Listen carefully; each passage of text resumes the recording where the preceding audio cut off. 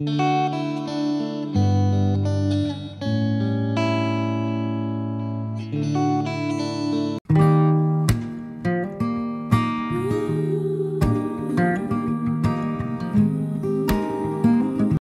friends, welcome.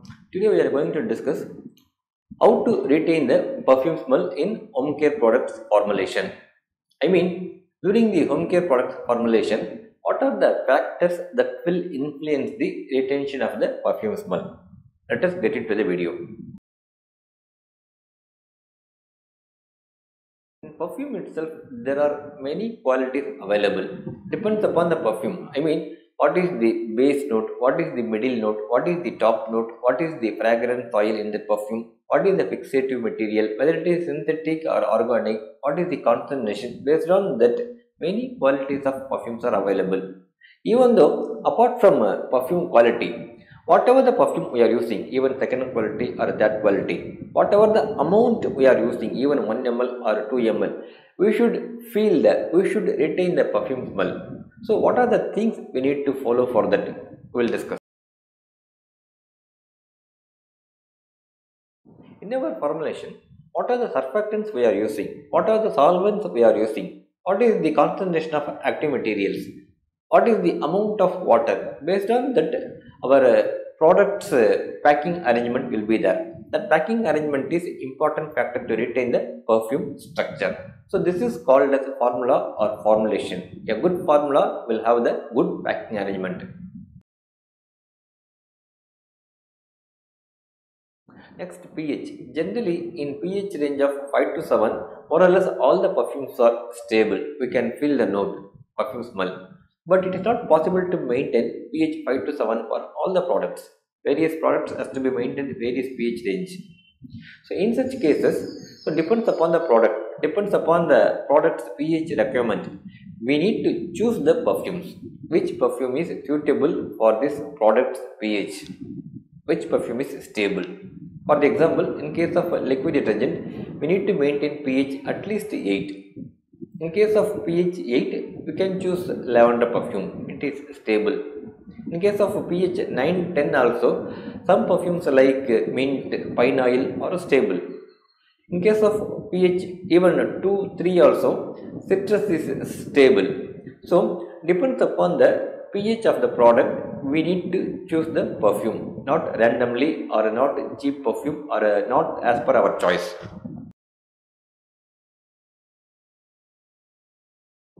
Next, preservatives and antioxidants. In our product, if you want to maintain the perfume smell, compulsorily we need to add preservatives and antioxidants. Preferably, we can add two preservatives. And the important thing is, we have to choose the right materials and correct dosage.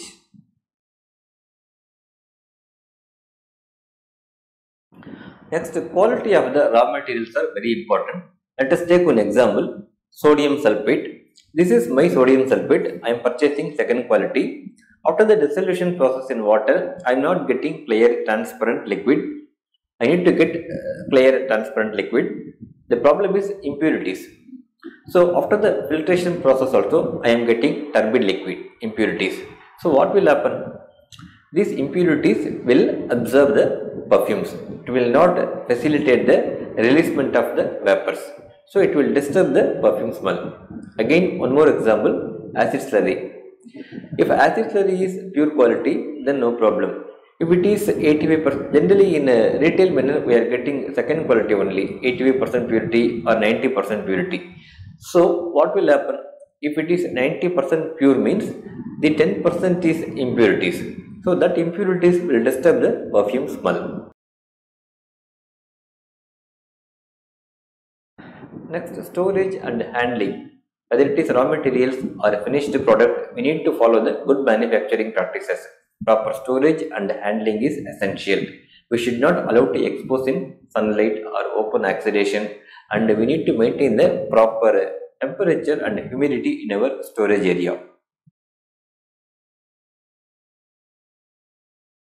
Next, salt addition. Generally, for home care product formulation, to get the desired thickness, desired consistency, we are using a salt, either sodium chloride or sodium sulfate. Both the salts are having some plus points and minus points. In case of uh, perfume retention, then the preferred choice is sodium chloride. But sodium chloride is compatible only with limited surfactants. I mean, our formula is very simple. We are using uh, SLES, AOS and CAPB, then we need to maintain the perfume smell, then the sodium chloride is better choice. Suppose if we are using extra materials like extra builders, enzymes, polymers, then compatibility is important factor. Then the preferred choice is sodium sulfate. Anyhow, whatever we are using, sodium chloride or sodium sulfate for our formulation, we need to check the compatibility.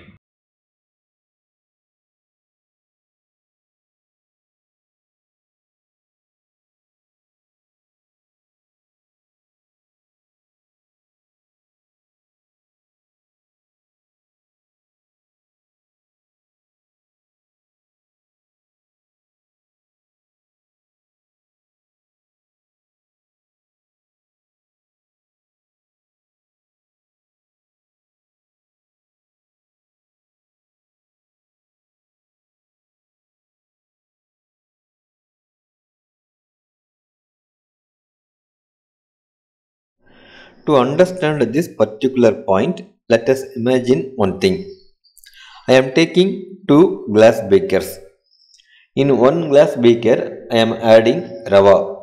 Just imagine it is as a particular surfactant or other materials in the formula.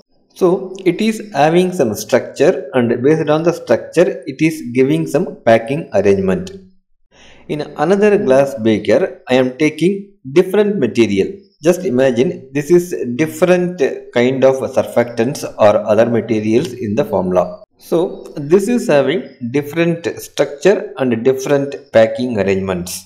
In first glass beaker, I am going to charge 5 ml of water. Just imagine this is as perfume.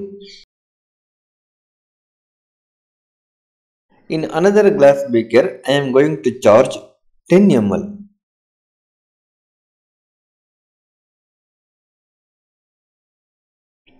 Now again imagine these two glass beakers as soap, either detergent soap or bath soap.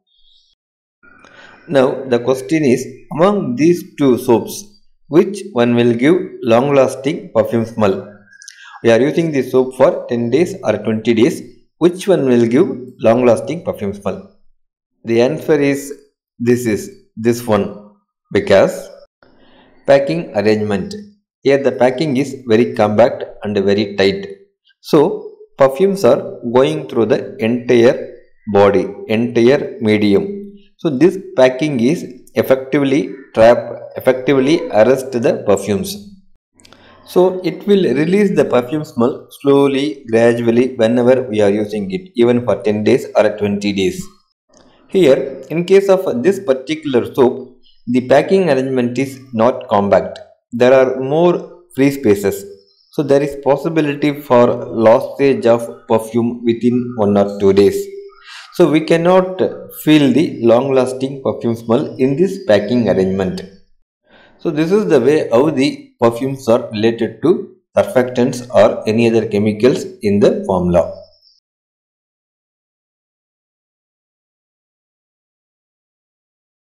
This is the structure of the sodium chloride. After the dissociation, it will give, it will furnish simple ions. That ions will form compact packing arrangement with surfactants. So this compact packing arrangement will effectively trap the, retain the perfume smell. It is the structure of the sodium sulfate. After the dissociation process, it will not furnish simple ions. The ions are three-dimensional in structure. So they will not form compact packing arrangement with surfactants. In that packing arrangement, there is possibility for having lot of the free space. So due to presence of free space, they cannot arrest effectively the perfume. So there is possibility for loss of perfume smell and we cannot feel the long lasting perfume smell with these types of packing arrangement.